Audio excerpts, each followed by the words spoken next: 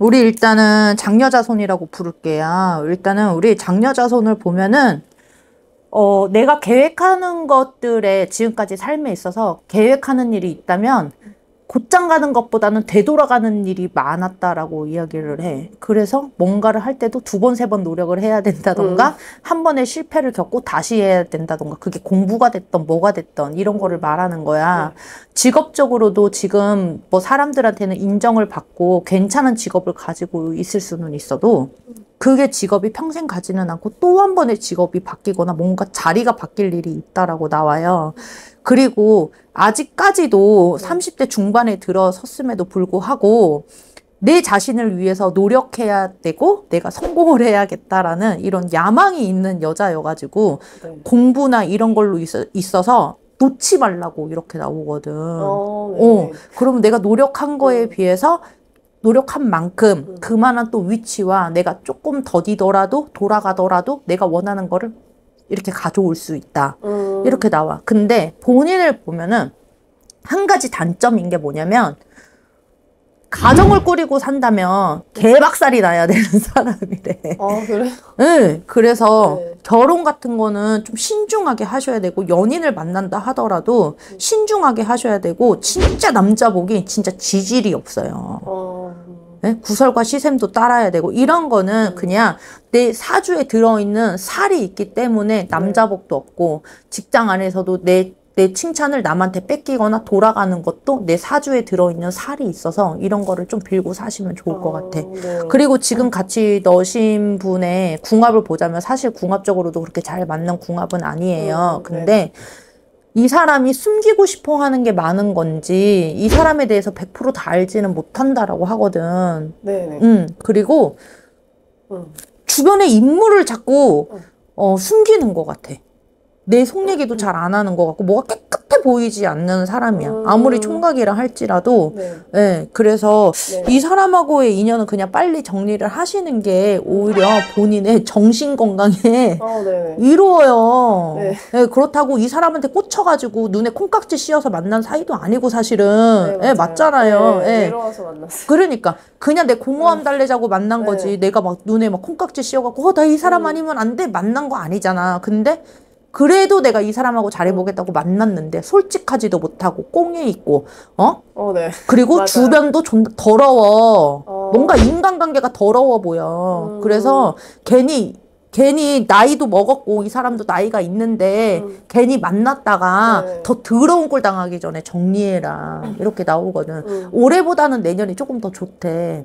제 뭐 연애운이나 이런 게 네 아니면 맞아요. 여러 뭐 가지. 응. 일단 내년에 자리 잡는다는 말이 나오는데, 네. 예, 결혼은 하실 거잖아. 네. 어, 근데 일단은 직업적으로 보면은 남들이 봤을 때는 어, 뭐 나쁜 직업은 아니고 그래도 어느 정도는 뭐 자리는 잡았다고 하는데 직업은 나중에 또 바뀐다 하더라도 내년에 자리 잡는다는 그 말은 네. 인연으로서도 자리를 잡는 것도 내년에 운기가 들어와.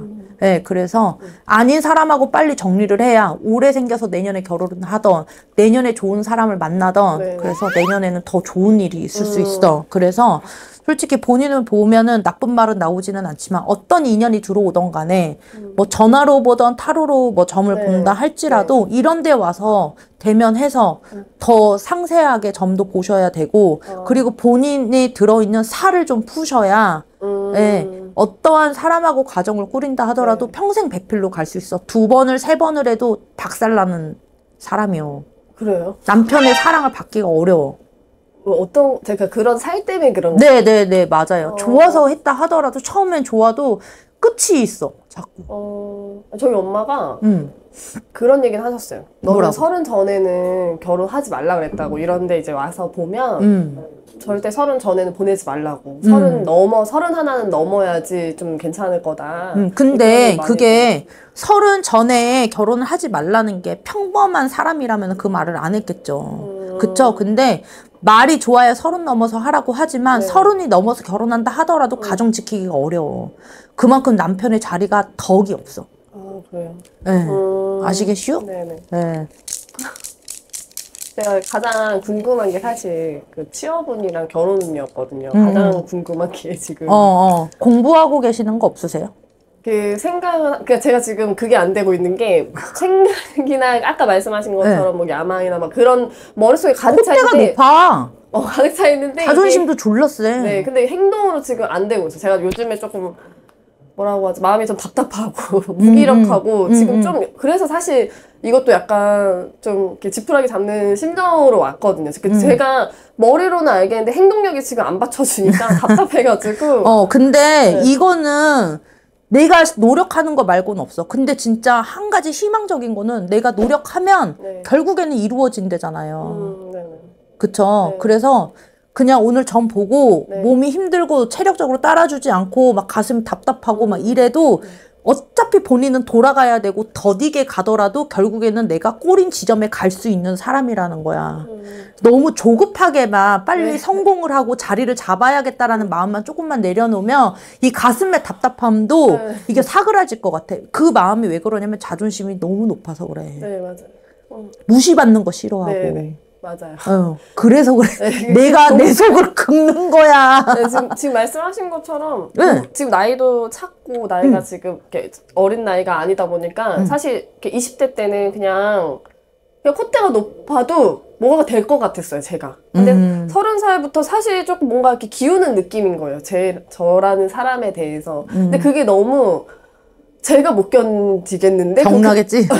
근데 그거를 그만큼 제가 뭐 자기 개발을 하든 뭔가 뒷받침을 해서 끌고 나가야 되는데 그럴 힘이 지금 한 2, 3년 사이에 확 이렇게 음. 꺾였어요, 제가. 그래서 음, 2, 3년 안에 꼭, 없어요. 어, 근데 아니야. 괜찮아. 오- 네. 올해 지나가고 내년에는 괜찮아. 어, 생일이 5월 생이잖아요. 네. 5월 달, 음력 5월 달만 지나봐봐. 음. 그러면 마음가짐도 달라지고 네. 생각하는 것도 좀 달라지고 오늘 가 오늘 점 보고 가면서도 내가 했던 말을 곱씹어 네네.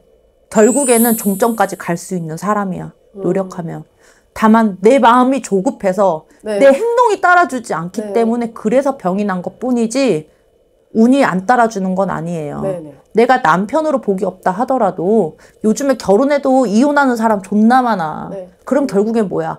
내가 내 커리어 싸서 내가 그냥 내가 높은 자리에 올라가던 자리 잘 잡아서 내가 성공만 하면 돼. 음. 어? 그거 바라보고 해. 네네. 100세 인생이래잖아요. 네. 이제 3분의 1 산 거예요. 네. 아시겠죠? 궁금하신 거는. 저는 사실 이제 회사를 아까 이제 하나 한번 바뀔 거라고 하셨는데 네네네. 저는 화학과를 나왔고 음, 음. 품질 쪽 품질 기획팀 이제 아, 관리자 공부도 많이 했었겠네. 네, 관리자로 있다가 어, 사회복지 쪽으로 바뀌었어요. 오, 직업이. 그래서 사회복지 음. 바뀐 지 이제 한 이제 3년 차 돼가고 음. 있는데 음. 그러니까 사실 지금 그것도 고민인 게 어, 이제 사실 품질 쪽을 더 오래 근데 했고 아니요 사회복지는 근데 안 맞는데. 그래요. 네. 그래서 제가 사실 그거 회사 다니면서 공부를 한 거였거든요. 이쪽으로 가려고 아예 이렇게 평생 지- 직업으로 제가 삼으려고. 다시 원래 전에 하던 대로 가고 싶지 않아요? 그 전공 살리고 싶은 마음은 없으세요? 제가 생각이? 요즘에 좀 왔다리 갔다리 하는 이유 중에 하나가 그 사회복지를 2년을 이제 하면서 제가 너무 마음이 그거는 안 맞아요. 본인하고. 마음이 너무 힘들고 지치니까 네. 돈도 안 되고 솔직히 그 어. 전에 거보단 돈도 안 되고 마음도 지치고 하니까 지금 이제 취- 취업을 알아보는 상황에서 여기로 가야 될지 절로 가야 될지 갈팡질팡 하고 있어요 제가. 음. 솔직히 말해서 오늘 그것도 좀 여쭤보고 싶었던 것 중에 하나가 저는 좀 후자가 낫기를 바라고 있거든요. 그러니까 음. 사회복지 쪽으로 쭉 갔으면 좋겠어요. 솔직한 마음으로는. 음, 음. 왜냐면 제가 일로 틀었던 데는 이유가 있었으니까 제 나름의 이유가 있었으니까. 네. 그래서 아 이쪽으로 차라리 공부를 더 해서 더 올라갈 수 있다고 하면 공부를 더 할 의향도 있고. 어, 저는 이거는 아닌 것 같고요. 음, 그냥 그리고, 예. 그리고 화학 쪽의 공부도 당연히 힘들겠지만 사회복지도 어찌됐든 간에 뭐 고령화 시대에 네. 이런 것도 해놓으면 괜찮기는 한데 네네.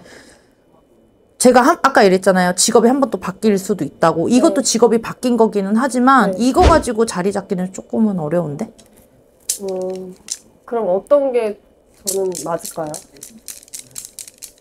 어떤 쪽으로 가야 될지를 모르겠어요. 왜냐면 본인이 그냥 명예만 원하는 사람은 아니에요. 사실 경제적으로도 욕심이 있는 사람이어서 이쪽에 만약에 일을 한다라고 하면 그냥 내가 뭐 월급쟁이나 이런 거는 절대로 못 버틴다고 나오고 음, 내가 어느 정도 빨리 일을 배워서 내가 사업 자체를 하던 네. 예, 뭔가 그렇게 하면 또 그건 괜찮아. 명예를 가졌기 때문에. 음, 근데 이 직장 생활을 못 버티면 다시 뭐 월급 좀 더 주는 회사나 이런 데로 들어가던 근데 나는 다시 그쪽도 괜찮고 아니면은 이 두 개가 좋긴 해. 화학 쪽도 나쁘진 않은데 사회복지 일을 한다면 사업 쪽으로 풀어먹어야 돼. 음, 무슨 말씀인지 예, 여기서 이제 가면서 생각 잘 해보세요. 네네. 네. 그래서 그게 너무 지금 이제 제가 이제 지금은 음. 무직이고 이제 얼마 안 남았거든요. 이제 쉴 수 있는 기간이. 음, 그러다 음, 음. 보니까 뭐 어떻게 해야 될지 모르겠는 거예요, 제가. 그래 공부도 많이 했고 솔직히 막말로 말해서 남들이 보면 오 대단하다. 음, 어? 그러잖아 솔직히 말해서. 어. 그냥 제가 가진 거에 비해 그냥 아까 말씀하신 것처럼 자존심만 좀 센 게 아닌가라는 생각이 솔직히 많이 들어요. 아니에요. 내가 가진 거에 비해서 그냥 뭘 하지도 않고 가진 것도 없으면서 괜히 정말 가진 게 없어서 헛되만 내세우나? 근데 그게 아유 그런 생각이 자존감이 많이 바닥으로 떨어졌네. 네. 아니에요. 음. 잘할 수 있어요. 돈과 명예를 둘 다 가져야지 만족스러운 사람이지 본인 성격에 어? 내가 이러한 타이틀을 가지고 박봉 월급을 사는 것도 내속 끓어서 못 살고 솔직히 말해서 예. 이 두가 두 마리 토끼를 다 잡으려면 어디로 가야 되나 잘 생각을 해봐. 네. 네. 사업으로 풀어먹을지 음. 아니면은 뭐 진짜 좋은 회사에 들어가서 안정적인 생활을 하실런지. 그러니까 회사를 들어가 그러니까 원래 했던 회사로 들어가려니 이제 우선 공백의 시간이 있고 이제 이쪽으로 오면서 공백의 시간이 있고 나이가 좀 좀 있다 보니까 좀 잘 안 될까 봐 그것도 좀 불안한 것 같아요. 다시 돌아갔을 때 과연 나를 받아줄까? 그 회사들이 음, 음. 그리고 괜찮은 회사를 정말 들어갈 수 있을까? 그간에 쉰 게 있는데 이런 것들이 아, 딱 말씀하신 것처럼 모든 게 지금 자존감이 많이 떨어지고 옛날 같지도 않고 올해 내년만 고생, 올해까지만 고생하면 되고 내년에는 결실을 맺는 해고 아시겠죠? 네, 생일달만 지나가면 마음을 어느 정도 좀 털어 털어내고 본인 다시 정신을 차리고 노력을 할런지 생일달만 곱게 잘 넘어가래. 네. 그리고 올해는 내가 뭔가를 시작하려고 해도 시작을 해도 결과가 안 좋거나 이래도 실망하지 말고 내년에는 무조건 자리 잡아. 내년에요. 어. 어, 진짜 괜찮아요. 내가 그냥 기분 좋으라고 하는 얘기가 아니에요. 네. 영상 보면은 안 좋으면 안 좋다고 얘기해. 네. 어? 본인 기분 좋으라고 하는 얘기 아니니까 정신 똑바로 차려야 돼. 이제 마지막 깔딱고개 남았어. 음. 네. 아시겠죠? 응. 괜찮아요. 네. 그리고 어떠한 직업을 다시 내가 선택을 해서 간다 하더라도 본인은 평생 공부하고 살아야 되는 사람이에요. 어, 제가요? 네, 노력하고 살아야 되는 사람이에요. 음. 끊임없이. 음. 갖고 싶은 거 원해서. 응. 그래야지 내 발전에도 있어. 제 발전. 네. 다 보셨어요? 아니, 결혼은 결혼? 네, 결혼은 결혼은 이- 근데 그거는 나중에 취업해서 돈 벌고 살풀이 좀 하러 와. 어? 남자친구 생기면. 전 궁합도 다 보고 가야 돼요. 어. 저는. 당연하죠. 제가 저번에 저, 저 그러니까 전화로 한번 봤더니 딴 데서? 자꾸 음. 무, 나중에 음. 남자가 생겨도 응. 꼭 궁합을 보고서는 시작을 해라. 응, 응, 응. 왜냐, 자꾸 그 얘기를 하시면서 얘기를 하시더라고요. 박살나야 되는 사람이니까. 어, 그래서 아무리 멀쩡한 사람이 와도 날, 만, 날 만나면 가정이 깨져야 되고 인연이 깨져야 돼. 끝까지 가지를 못해. 저는 일부 종사를 못 하는 거예요. 당연하죠. 그러니까 남자가 생기면 와서 살풀이도 좀 하고, 어? 그런 것도 좀 풀. 네, 맞아요. 근데 그렇게 하기 전에 먼저 본인이 좀 더 안정적이고 그게 우선이잖아요. 음, 네네. 그래서 결혼 언제 하냐 이건 중요하지 않아. 근데 내년에 두 마리 토끼도 다 잡을 수 있어. 내년이 진짜 좋아. 내년에요. 당연하죠. 아, 너무 힘들어요, 사실 요새. 음, 요새 너무 아니야. 지쳐서. 그래. 근데 본인 말고도 요즘 힘든 사람 많잖아요, 솔직히. 사실 오늘도 제가 지금 막 밖에 있다 급하게 연락받고 왔거든요. 네.